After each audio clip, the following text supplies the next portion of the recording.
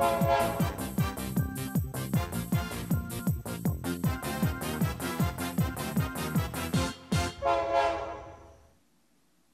so we're at 1050, so I'll go ahead and get started. Um, so I'm going to be giving this talk on localization and translation um, and internationalization in your Rails apps. Um, cleverly entitled Finding Translations, although someone yesterday uh, suggested the alternate title of Many, Many YAML Files, um, which we'll get into why that might be a fitting title for this talk as well. Um, but we'll start out just by defining our terms. So, localization is the process of adapting internationalized software for a specific region or language by adding the locale specific components and actually translating the text. Internationalization refers to the process of actually um, setting up your app in such a way that it can be translated. Um, and we'll be talking mostly about how to set yourself up for success in terms of um, when you are designing your app, um, even if maybe you're not even planning on having it translated off of the bat. Uh, some of these pro- uh, processes and things will be good things to have in mind um, in any case. So, thanks, Wikipedia, for those definitions. Let's get rolling. Um, in plain English, we're talking about translating and, more importantly, getting ready to translate your app. Um, so, what are we talking about when we talk about translation? There's the most straightforward type, um, which most people are going to be thinking about when I say the word translation, which is English to French, French to Arabic, English to German, Swahili to Esperanto, Spanish to Cantonese, etc. Um, other things that are important in this translation process, though, is what country you're actually talking to. Um, so, are you talking to British consumers? Are you talking to American consumers? Um, are you talking to Portuguese consumers? Are you talking to Brazilian consumers? Those populations are going to speak the same language, but are not necessarily going to have the same um, content be, de- be delivered to them. Um, another thing you want to be aware of is the register, um, whether that's formal or informal, um, professional or like your Twitter feed um, AP style or MLA style, I guess, uh, things like formatting, so on and so forth. We're mostly going to be talking about the first type, um, but you should always have in mind the second type. When you're doing a translation, you should be thinking about what country the people using that language um, are going to be coming from. Um, things that'll be relevant to that are things like units of measurement, government legal terms, uh, date formatting, so on and so forth. And the third type is not something we're going to talk about really, um, but your translators should be aware of where you're coming from in terms of the register that you want to convey in your app um, so that they can write to the same uh, kind of audience. I could also see using these same tools to uh, transpose between registers. So, say you had a kids and parents version of your site, um, you could use some of these I18N um, conventions to, to do that as well. I've never done it, but it could be fun. Um, so, who am I? Uh, points if you get this joke, uh, 24601. Um, I'm Valerie Woolard. Um, on Twitter, I'm at Valerie Codes, and you should tweet this talk because at mentions are my lifeblood. Um, I'm a Rails developer at Panoply, which is a podcasting platform. We're part, yes, podcasts. Um, we're part of uh, Slate. Um, and if you want to geek out about podcasts, please find me after the talk and I will give you all my recommendations and take all of your recommendations, and my subscription list will continue to balloon uh, uncontrollably. Um, I have interests in linguistics, translation, and language studies. So prior to becoming a developer, um, I was a French major. Um, I studied cognitive science with an emphasis in linguistics. Um, so I've done a bit of translating in an academic uh, setting um, and was hoping I could maybe add some insight to folks who are maybe not as familiar with the translation process um, who are getting ready to, to translate things. So, without any further ado, so you want to localize your app. Um, you might feel like this dog, especially if you're not familiar with a lot of the pitfalls that can come along in, in this process. So, when should you think about localization? Um, you should think about it now. Um, even if you don't actually foresee a future in which you want to have localized versions of your app, um, if you think about your po- possible audience, it is probably not just US based English speakers. Um, if you think about just the number of languages that are spoken just in the United States, um, if you're limiting yourself only to English speakers, you are really, um, really limiting yourself. Um, so it's something that should be on your radar as a possible thing that might come down the line. And even if you never localize it, you won't be hurt by using some of these conventions, um, and they can give you other wins in your development process.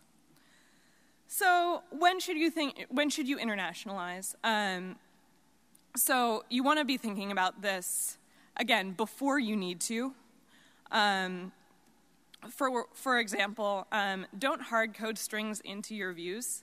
Um, this is a very easy win. Um, you can use locale keys in your views have those reference a YAML file, and that way you can have all of the copy for your app uh, separated out from the actual code. So, say if you have someone who's not a developer who wants to make changes to copy, you don't have to have them dig through the code and, and make those changes. You can have them edit a YAML file, which is probably going to be much easier for everyone involved. So there are lots of built-in tools for Rails localization. Um, there's this I18N guide, which goes over uh, the basics of how to use those tools, um, how to create keys that you then reference in your app. Um, the default setup for Rails localization is to have a YAML file, as I've alluded to a couple times. Um, where you will have a key and a string, and when you reference that key uh, in your in your application, that string will be pulled from the YAML file, um, and then you'll have YAML files for each locale. So you'll have a French one and an English one, and so forth. Um, and based on the locale setting on your app, the correct string will get pulled in. Um, and there's a lot of things built in for you. There's also um, a localize. So there's i18n.t, which is translate, that refers more to the pulling the correct strings. Um, and there's also um, localize, which refers more to, as I was mentioning, the units of measurement, um, things like that. That'll be related to where the, the person is from. Okay, so you've got some YAML files with some strings in them. Um, this can get annoying really fast, especially if you have, say, maybe hundreds of strings, or thousands of strings, or tens of thousands of strings uh, in your app. Um, depending on how complex your app is, these files can get really unmanageable. Um, so you should be thinking about um, whether this is something that is practical for you and for your app and your organization. Um, one way you can maybe make it a little easier on yourself is to customize these YAML files to be per feature um, or something like that so that you don't have one single YAML file that's storing every single string that you use. Um, but at the same time, this this is still like not something that you probably want to use for a super super complex app. Um, here are some helpful gems in your localization journey. Uh, one of them is Rails I18N. This provides tons of translations in different languages, different locales for the errors um, that are kind of baked into Rails, um, active record things, uh, default date formatting, things like that, so that you don't have to waste your time doing those things. Um, so that is super helpful to kind of get your localization stuff off the ground. Uh, Locale app is a gem and provides a web interface for storing translations that translators can log into. Um, it's a paid service. I'm not sure if there's a free tier, but something worth looking into um, if you're looking to add translations. Um, and it's also tied to paid translation services, so you can pay someone from there to actually go in and translate all your strings for you. Uh, Globalize is a tool you're going to want to use if you're adding translations to your active record models. Um, so if you want to, say, localize attributes on a model, uh, say you have a blog and your posts are stored as active record models, and you want to have alternate versions of your blog posts in different languages, this would be the tool that you want to use for that. Um, through Geocoder, you can, um, the Geocoder gem, which also does a lot of other things, um, but one tool that it'll provide you is being able to set a locale based on a user's IP address. So that's also super helpful. Um, I18N tasks is a gem that will go through and report keys in your YAML files that are missing or unused. Um, it'll remove unused keys optionally, and it can also pre fill mis- missing keys from Google Translate if you want to play it fast and loose. Um, one possible workaround for this YAML nightmare that we've described um, is proposed in this Railscast episode um, that you can look into. It provides a sort of framework for a Redis based backend for the uh, locale keys. Um, another possibility would be to do like an active record or another database based backend. Um, the things that you'll want to keep in mind, though, are that these keys are going to there's probably going to be tens, dozens of them loaded on every page. Uh, so they'll be, need to be accessed all of the time.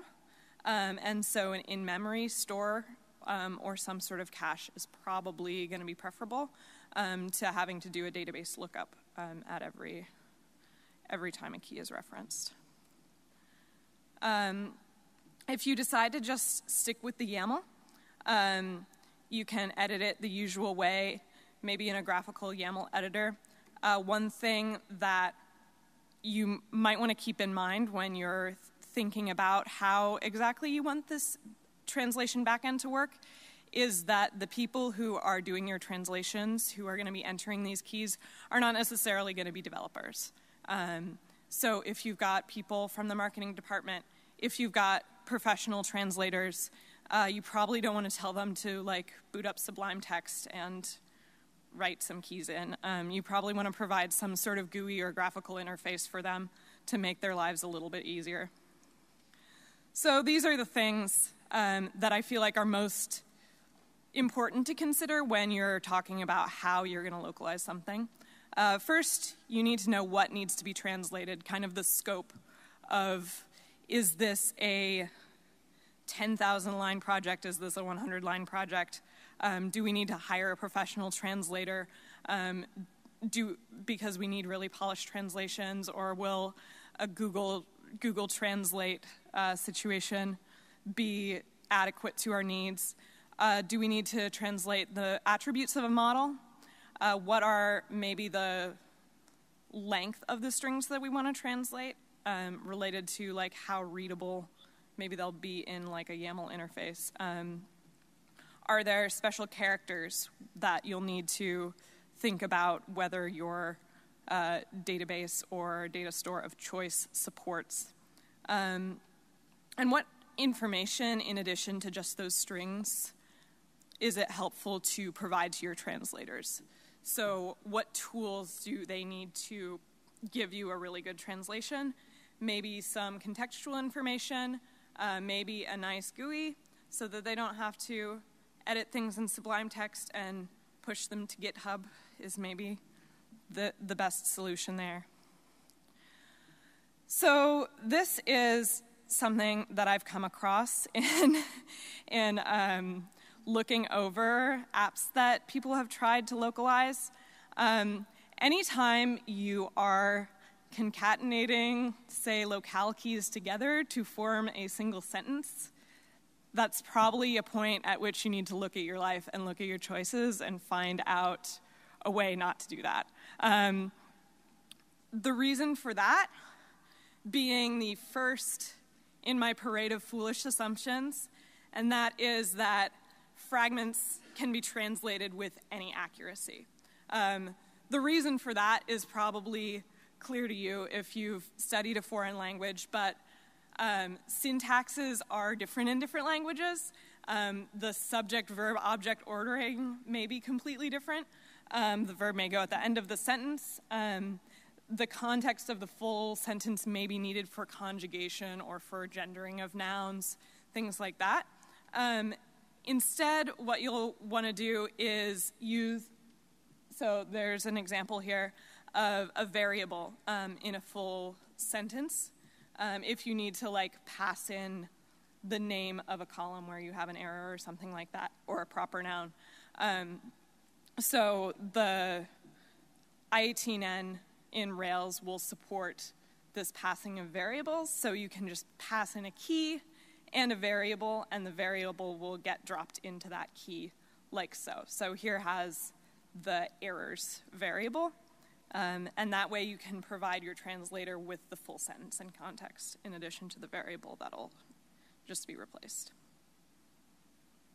Another pitfall is assuming that pluralization works the same in other languages.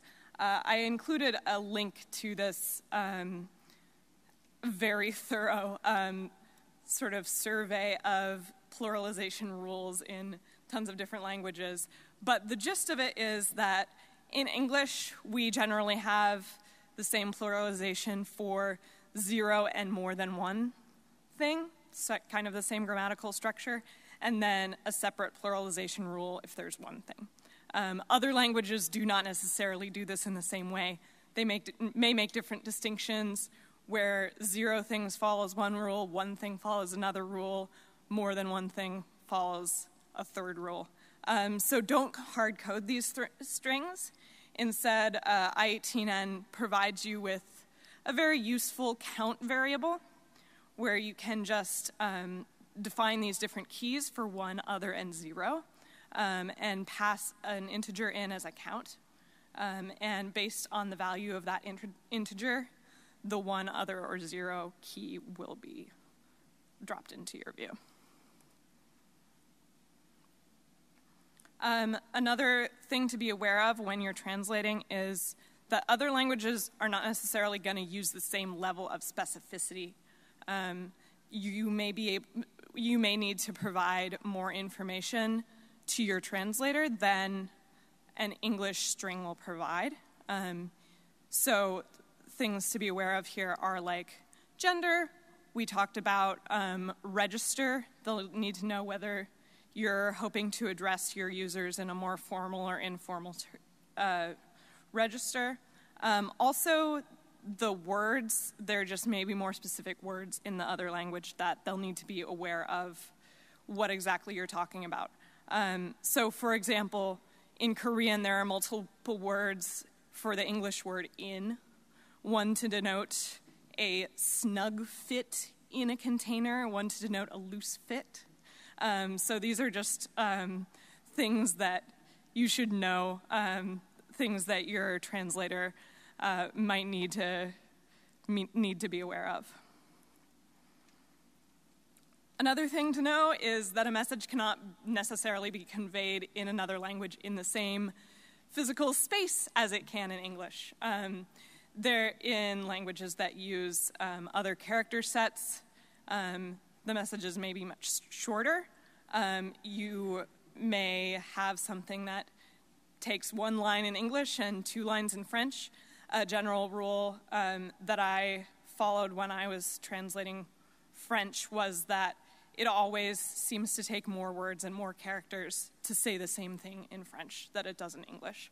Um, for that reason, you'll need to think about what you want to do if you need to fit more characters in a space, um, or if something will look weird if you have a much shorter string than the Eng- English one. Um, do you want to shrink the text down in certain situations? Um, you probably want to avoid fixed height or width containers unless you're going to test um, whether that string fits in the fixed height or width container in every language that you support. Um, so this is something to be aware of when writing CSS and doing more of the front end work. Another scary thing, um, the text may not always be left to right. Um, so there are a lot of design implications here. Um, Oops, sorry. Um, so this is screenshots from the BBC's website, one from their Arabic website and one from their um, North African French website. Um, so you'll notice it's not just the text that's flipped, it's also the like logo and some of the design elements. Uh, the search bar is on the other side um, because the idea is that like the eye will gravitate toward the right side rather than the left. So there are a lot of other design implications beyond just, you know, flipping flipping the alignment of the text in the container. Your character set will not always be the Roman alphabet necessarily, um, so you should make sure that um, other characters are other character sets are supported if you're planning to support um, non Roman alphabet languages. Okay, so you've got all this. You have all of these pitfalls in mind. You've got these wonderful YAML files that are filled with wonderful translations that people are making updates to all of the time. And you have merge conflicts constantly um, because everything's in a YAML file and everyone is editing it, and it's terrible. Um, you're very likely to get merge conflicts, um, especially if everything is in one place. Um, and because the people doing your translating, adding your copy are not necessarily developers, you probably don't want everyone who makes copy to have access to, say, your code repo. Um, so, some things to do here can break up keys um, based on functionality based on features. Um, you can add your YAML files to make it make them a submodule of your main repo so that you can give people access to just the YAML files rather than giving them access to the whole repo. You can have a database store that people edit from that is then pulled into a YAML file in some way, or you can just have a database backend for your uh, translation keys. Um, or you can do something like LocalApp, which is a web-based um, web-based interface where people can edit the keys, and that can sort of serve as your external source of truth. So you don't have to trust those YAML files that are in your repo. You can just pull from that source and trust that everything's fine.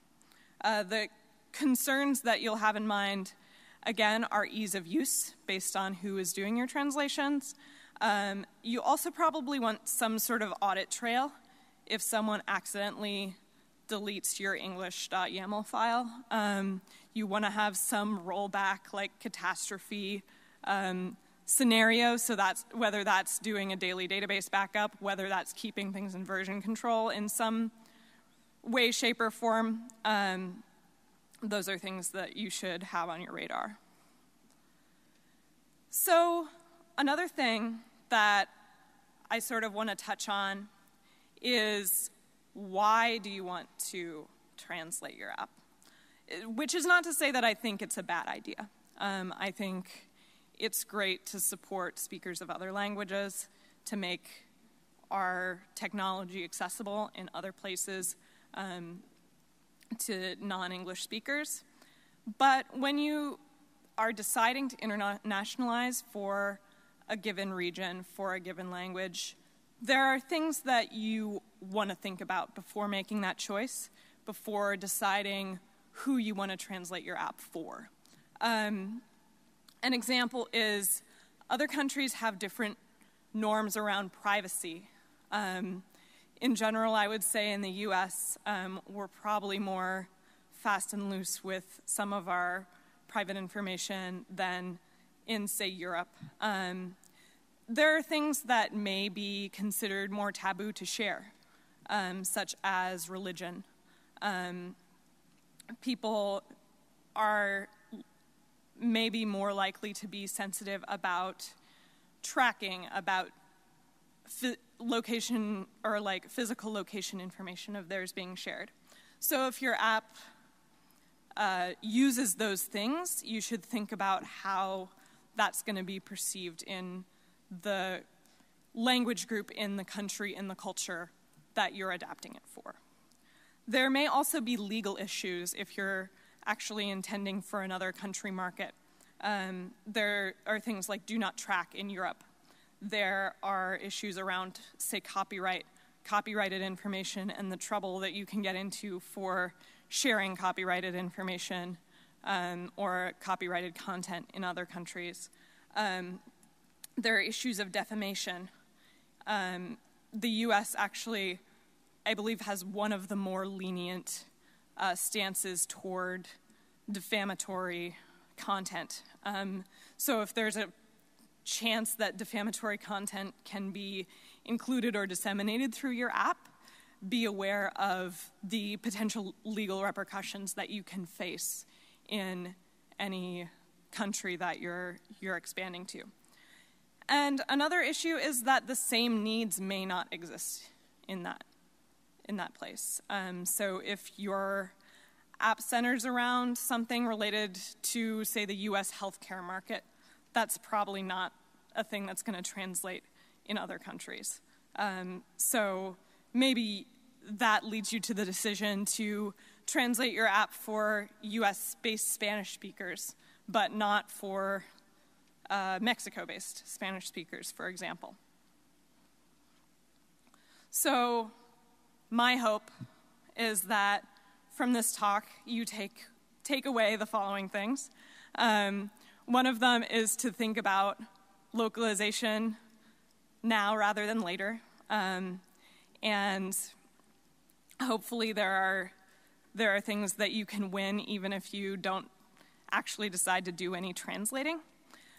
You, when you're translating something, be aware of the quality of translation that you need. And if you want a quality translation, your translators should have a good understanding of your app, of how it works, of who it's intended for, of what it's intended to do. Also, translation is hard.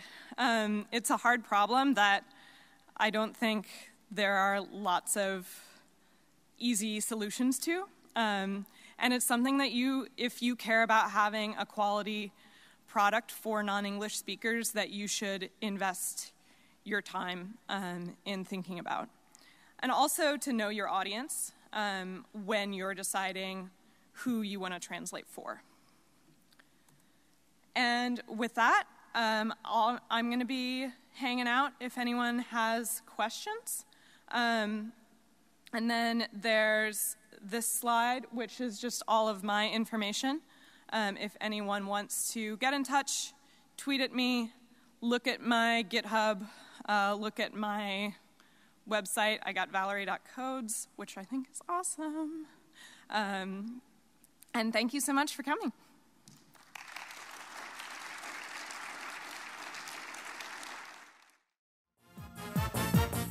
Música